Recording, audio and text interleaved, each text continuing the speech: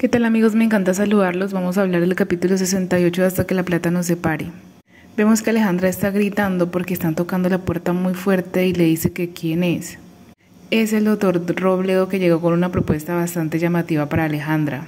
Este le dice que quiere comprar 40 eh, carrotans, que es, esta es una muy buena noticia para Alejandra, que está teniendo bastantes problemas. Luego vemos a Jaime diciendo que gracias a su colaboración con la justicia lo van a soltar. Luego veremos a Andy hablando con Isabela y esta le dice que se tiene que hacer la prueba de paternidad para probar si el hijo sí es de él o no.